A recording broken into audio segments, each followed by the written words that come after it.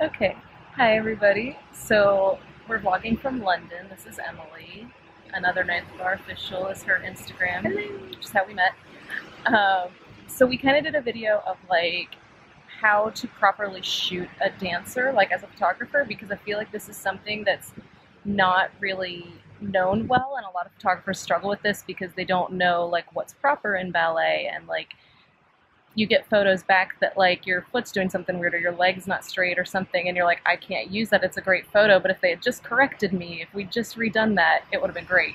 So that's kind of some things we wanted to talk about and we took kind of some sample photos of things. So there's like kind of three points to this. Um, there's the technique side of ballet um, there's body angles for photos and then there's like the simplicity in ballet photos that you can use and also like the ability of the dancer that you're using not every dancer can do a firebird leap or crazy things like in Jordan Matter videos, and I can't.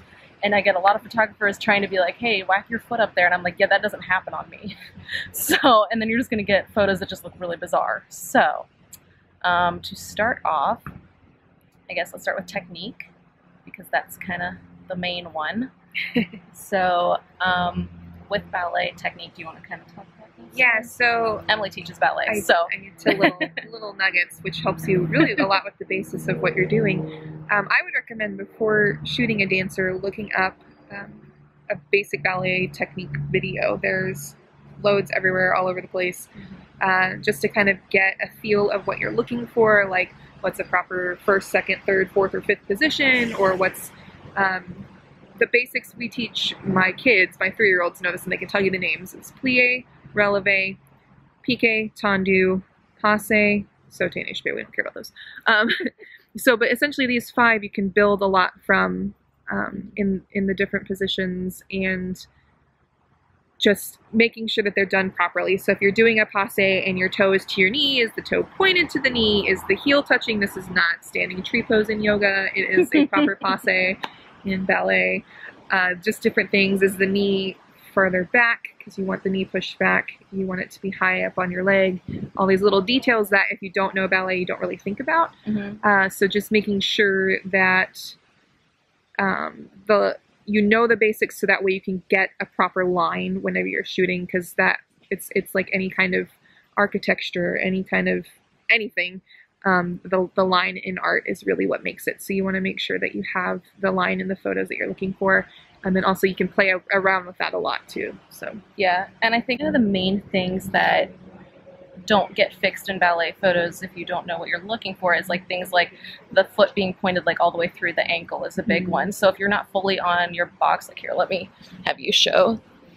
So it's like if you're like if I was like this, that's not good.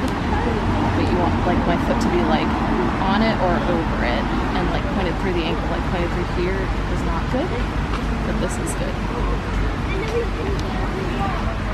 Which you see, you see especially more in uh, in pointe shoes. It's kind of obvious. Yeah. In ballet shoes, it's not as obvious. Yeah. So I mean, in yeah, in ballet shoes, it's easier to mess that up. So yeah, put the camera back. Fine. So, Whoops. Hang on. so uh, just being having a careful eye to doing that correctly. Yeah, and then like the next biggest one is like having the knees straight, especially on the working, the standing leg. I can't tell you how many times I've gotten photos like that I've had, like a lot of times it might just be my sister taking them or things, but like I'm doing an arabesque and the knee that, or the leg that I'm standing on, the knee is completely bent, which I have a hard time straightening my legs. And so a, lot, a lot of people do. A lot of people, it's not natural. Um, yeah. I mean, you have people who are naturally hypermobile that don't have and to, people who are not. yeah, that don't have to really work for it. It just kind of happens, um, which is its own whole other thing. Yeah. But if you're not naturally inclined to it, it's something you can think about to get it yeah. proper. So trying to make sure that the legs are really straight, especially through the knees, are really straight, mm -hmm. and that the foot is really pointed through the ankle. That's going to give really good lines. Mm -hmm. um, and then the other big thing I think is like the shoulders, which Just I'm doing right now. Like my shoulders general. are up here, but you want a nice long line. You don't want their, yeah, you don't want them to be like which I tend to do too. And I or definitely this. lift my shoulders up, yes. I do this. Um, really sorry, bad. my arms getting really tired. Um, so like a lot of those are kind of like the main things to like look for to fix that are part of like technique and uh, like not turning the foot the wrong way too. So oh gosh, don't sickle. Let me yes, let me do a sample of sickling. Um, this is bad. So like if I were to point my foot back and do this. Yeah, don't do that. Oh, gross. know, That's looks so gross. bad. You want it more either straight or you want it winged, which is like this. That's ideal in ballet. While we're here, turnout's a huge thing. Oh, yes. So you would want this standing leg. It, the turnout comes from the hips. So if her hips were open like that, oh gross, and which puts all the pressure on the knee and cuts this line entirely. So turn that, yeah, turn that foot out, and then turn this back leg out. So I should see that knee. Uh huh. Except I don't have much turnout. It's okay. And then hip forward, yeah, and then she can wing that foot. So I don't know if you just saw that complete and utter difference, but night and day. Then straighten that knee, all the weight on the front leg. I'm on a slant right now too. Yeah, I'm I'm putting all the pressure on her. Yeah, that. Ta-da! Perfect picture. Um, I don't think of what else. You got the épaulement, which is a big thing. Yeah. Um, and then like just getting like the right like angles in, um, which we did a lot of in another little bit that like we had her videoing me and then we took the same photos again, which I think is a lot of the body angles um, and just getting them from the right direction. Like if someone's doing an arabesque, you like with the leg up the back, you don't want to like shoot up the back of the leg. That would just look really weird. Yeah, no. Nor do you really want to shoot straight on because you're not going to see the leg up. Yeah, and then it's just awkward, and you look like a Like, yeah. Sorry. So, like, there's different angles. It doesn't always have to be straight on the dancer. It can be from sides to get more body angles. Like, that's the biggest thing about ballet is the lines in ballet and what And the, it's, like, I mean, it goes from your like your fingers all the way down to the tips of your yeah. toes. It's Do long- your the one where you did the pose that Kaylee took of you with your arms because it looked really good how you did it, and I can't do that as well as you can. so like so this one. Yeah, like just the line of her arms there, and like it just looks really nice. to the head. I mean, you Yeah. Want this- depending on what you're doing, that Yeah. proper, but you want your chin. The fingers can't be. Yeah. You don't want hamburger hands you like want I do sometimes. You want to go all the way, energy Yeah. all the way through your fingertips. Yeah, all the way to your toes too. So like whatever you're doing. Well, yeah, but um so that's oh, you're fine. So that's kind of Oh, a lot. leafy. That's kind of a lot of the body angles. Um, and then like the next thing is just like a lot of photographers, like I mentioned earlier, like everybody's not going to do Jordan Matter type ballet shoots. Like that's not normal to expect that. And even some of his actually aren't that extreme of poses. It's just the situation they're in. But like most dancers you're going to work with now, a lot can maybe be good jumpers or good turners and things like that. But a lot aren't. Um, like I am not a jumper. And also I have a really short torso so asking me to just do a bunch of arabesques with my leg up or a bunch of kicks with my leg up isn't the best line for me as a dancer because I don't have the long torso to make those lines look good. So more simple poses like even just pointe shoe shots and things are like some of like or just doing a simple tendu where you just like stick your leg out. Like things where you don't have to try that hard but you still make it look really elegant and simple If you get are- the, the lines and the technique yeah, at all. those can tend to be some of the off of best ballet photos For sure. without doing super crazy moves and things like that. For sure. Um, any more notes on that that you can think of? Not really. So that's kind of all we have right now. I mean, I may do more on this series if people like it. It just helps having Emilee because she like knows how to correct me when I can't see it. so, because even I can't tell until I go and look back at a photo and go, oh right. But so Stupid knee is bent. yeah so it's helped having both her and leah who took some of my photos here in london because they're both like really good at catching all those things so that's all i have for now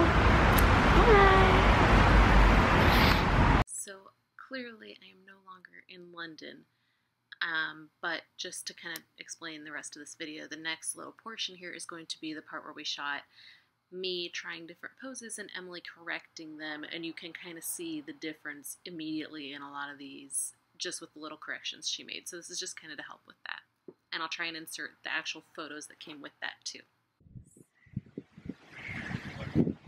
Okay, can you get over farther on your front foot? What? Can you get over farther on your front foot? Well, no, like, like over farther on your box. There, that was better. So either make it a super tight fifth or bring it into fourth. Um, just decide, yeah. Fourth, I think fourth looks better. Yeah, well, I usually do it. Okay, ready? Three, two, one. That's nice. Um, angle your shoulders a little more towards me when you do it. Yeah. Open that up. Yeah, there we go. Um, just remember to keep them lower. Like don't don't flail them. okay, ready? No, that's that's like a in between. So either low for first or do a proper third. So like or like I'm sorry, arabesque, not third. So either yeah, like that. That's nice. Uh, make your fourth wider. Yeah, there you go. Hmm. Okay. So like if I were to do like a You'll want it to be super behind you. So yeah, and then turn out that back leg. Yeah, like cheat it and then wing it. Uh huh. Your hips. Uh, maybe it's the angle. Hold on, let me look at it. Yeah, hips more this way. No, other way. Uh huh. Um. Try your whole body shifting a little. Yes. And then wing that back foot like, yeah, like that. Put all your weight on your front foot. Mm-hmm. And then wing, yeah, there you go. Now, what are you doing with your arms? Yes. Ta-da. Um, Do like a gazelle. uh-huh. They, t- like that, and then you can tendu the front foot. I mean, not tendu, fondu, sorry. Wrong word. Fondu the front foot, like bend your knee. No, like, go back into the tendu where you were. Okay. And then, yeah. Oh. But all your weight has to go on the front leg. Okay. Yeah, there you go. And good. Okay. Uh huh. Um, we can try their best. I just can't hold them. Okay.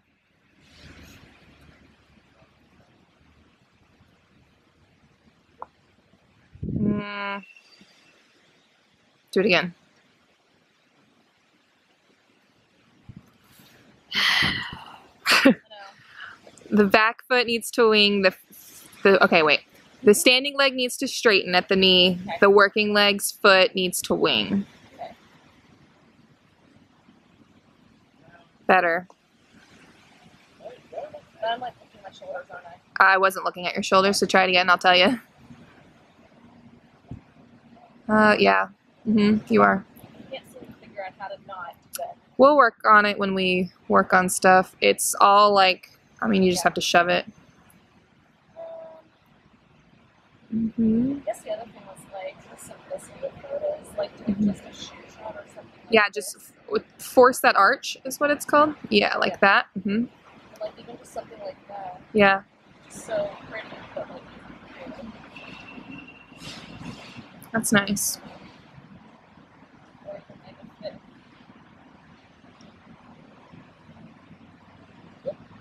I can hold it. That's- Just make your arms intentional. Yeah, there you go. Longer neck, you're like turtling. It was weird. There it is. okay.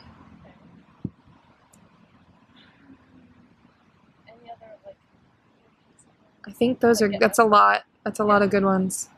Right, so just to wrap this video up, um, you could kind of see the differences there. I tried to insert the pictures as best, but we had to film first and then take the photos, so that's why some of them are slightly different. Um, and I'm going to put in here too, just real quick, like side by side, the first arabesque that was really bad, and then like, and this was when we were taking them, so it was completely different time, but like I did a first one that was really bad, and the second one was like instantly better, just from the corrections she gave me.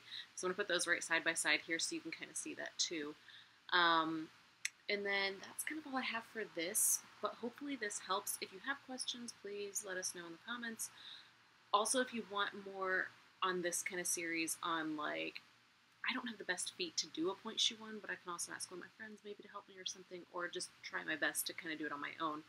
Kind of more what we mean by like sickling or winged, and like that's why when you see dancers in arabesque, like whoops, let me swing my foot, my hand in here their foot's like okay i cannot show you because i can't figure it's like bent like this but it's not like if it was like that that's really bad. If it's out like that it's like winged you know i don't know. Things like that things like not having shoulders up but having them down um, just the posture in ballet like emilee makes a huge point in just like researching a bit before you photograph dancers watching a class on correcting technique or something, there's tons of them on YouTube. Um, I mean, I watch them all the time just for myself, but like little things like that. And like, yes, a dancer should be able to technically kind of correct themselves, but when you don't have a mirror in front of you, you can't really see that for yourself. So it's hard. And then you get photos back later that, or like just reviewing the photos with the dancers, even that can help. Like if you take a few and then show them and be like, hey, is there anything you want to fix about these? And then they can point out, like, say, I'd like for that to be a little different, like that knee to be straighter, that foot to be pointed like. So if we can try and get that, and that would be a great way to do it too. So that's all I'm going to say on this because it's getting longer. So hope you enjoyed it. We had a fun time making it. I wish we were still in England, but I'm also glad to be home. So bye.